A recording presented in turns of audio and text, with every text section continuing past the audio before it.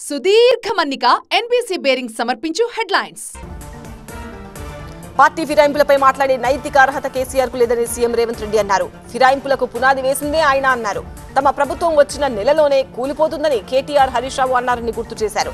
ప్రభుత్వాన్ని పడగొట్టాలనుకోవడం కేసీఆర్ భావ దారిద్ర్యమని రేవంత్ భగ్గమన్నారు ఇప్పటికీ ఆయనకు కనువిప్పు కలగలేదన్నారు.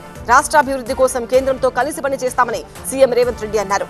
ఢిల్లీ పర్యటనలో ఉన్న రేవంత్ ఏపీతో ఎలాంటి సమస్యలు లేవని తెలిపారు. ఉన్నా వాటిని పరిష్కరించుకుంటామన్నారు. గత ప్రభుత్వం మిషన్ భగీరథ పేరుతో నలభై రెండు వేల కోట్ల రూపాయల అప్పు తెచ్చి రాష్ట్రంలో ఒక్క ఇంటికి కూడా తాగునీరు అందించకుండా గొప్పలు చెప్పుకుందని డిప్యూటీ సీఎం భట్టి విక్రమార్క ఆరోపించారు. గత ప్రభుత్వం మిషన్ భగీరథతో నీరు అందించి ఉంటే ఇప్పుడు కొత్తగూడెం పట్టణానికి తాగునీరు అందించేందుకు నూట ఇరవై ఐదు కోట్ల రూపాయలు ఖర్చు చేయాల్సిన అవసరం వచ్చేది కాదని భట్టి అన్నారు. కాంగ్రెస్ పాలనలో అందరికీ సమన్యాయం జరుగుతుందని వ్యవసాయ శాఖ మంత్రి తుమ్మల నాగేశ్వరరావు అన్నారు. ప్రతి రైతుకు రెండు లక్షల రూపాయల రుణమాఫీకి ముప్పై నాలుగు వేల కోట్ల రూపాయలు అవసరమని వెల్లడించారు. గత ప్రభుత్వం సీతారామ ప్రాజెక్టుపై తొమ్మిది వేల కోట్ల రూపాయలు ఖర్చు చేసినా ఒక్క ఎకరానికి కూడా నీళ్ళివ్వలేదని విమర్శించారు. కొత్తగూడెంలో నిర్వహించిన వరద సన్నద్ధత సమావేశంలో తుమ్మల మాట్లాడారు. ముఖ్యమంత్రి రేవంత్ రెడ్డి రేపు వరంగల్ పర్యటనకు రానున్నారు. ఈ సందర్భంగా మంత్రులు సీతక్క కొండ సురేఖ హన్మకొండ జిల్లా కలెక్టరేట్లో సమీక్షా సమావేశం నిర్వహించారు. ఇందులో వరంగల్ హన్మకొండ జిల్లా కలెక్టర్లు మేయర్ సుధారాణి పాల్గొన్నారు. గ్రేటర్ వరంగల్లో చేపట్టనున్న అభివృద్ధి పనులకు సంబంధించిన వివరాలు మంత్రులు తెలుసుకున్నారు. సింగరేణిని ప్రైవేటీకరించేందుకే తెలంగాణ బొగ్గు గనులను కేంద్రం వేలం వేసిందని బీఆర్ఎస్ వర్కింగ్ ప్రెసిడెంట్ కేటీఆర్ అన్నారు. కేంద్రంతో సీఎం రేవంత్ కుమ్మక్కై బీజేపీకి అనుకూలంగా వ్యవహరిస్తున్నారని ఆరోపించారు. లాభాల్లో ఉన్న సింగరేణికి బొగ్గు గనులు కేటాయించకుండా నష్టాల్లోకి నెట్టే ప్రయత్నం చేస్తున్నారని తెలిపారు. తెలంగాణ భవన్లో సింగరేణి ప్రాంత మాజీ ఎమ్మెల్యేలు అక్కడి నాయకులు సీనియర్ నాయకులు బొగ్గు గని కార్మిక సంఘం నాయకులతో కేటీఆర్ సమావేశమయ్యారు. సింగరేణి గురించి బీఆర్ఎస్ మాట్లాడడం దయ్యాలు వేదాలు వల్లించినట్టుగా ఉందని బీజేపీ రాష్ట్ర కార్యదర్శి ప్రకాష్ రెడ్డి ఆరోపించారు.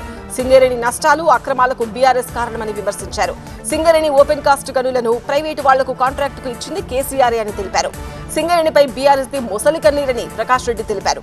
సుప్రీంకోర్టు మార్గదర్శకాల ప్రకారమే బొగ్గు గనుల వేలం జరుగుతోందని స్పష్టం చేశారు. ఉమ్మడి ఖమ్మం మహబూబాబాద్ జిల్లాలను సస్యశ్యామలం చేసే సీతారామ ప్రాజెక్టు మొదటి పంప్ హౌస్ ట్రయల్ రన్ విజయవంతమైంది. మూడు జిల్లాల పరిధిలో పది లక్షల ఎకరాలకు ఈ ప్రాజెక్టు ద్వారా సాగునీరు అందనుంది. వృద్ధాగా పోతున్న గోదావరి జిల్లాలను సాగుకు ఉపయోగించేలా సీతారామ ప్రాజెక్టును డిజైన్ చేశారు. ఉమ్మడి ఖమ్మం జిల్లా మంత్రులు ఈ ప్రాజెక్టు పనులను యుద్ధ ప్రాతిపదికన పూర్తి చేయిస్తున్నారు. ట్రయల్ రన్లో వారు పాల్గొన్నారు.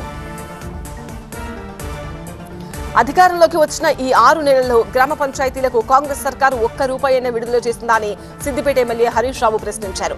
గత ప్రభుత్వంలో గ్రామ పంచాయతీల కరెంటు బిల్లులు ట్రాక్టర్ బిల్లుల నిధుల విడుదల క్రమం తప్పకుండా జరిగేదని గుర్తు చేశారు. సిద్దిపేట రెడ్డి సంక్షేమ భవన్లో జరిగిన జిల్లా పరిషత్ సర్వసభ్య సమావేశానికి ఎమ్మెల్యే హరీష్ రావు హాజరయ్యారు.